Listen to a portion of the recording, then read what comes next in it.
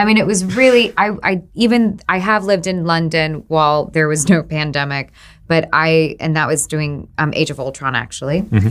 and being in Richmond for for a pandemic, I just wouldn't. I wouldn't want to be anywhere else. It was really beautiful.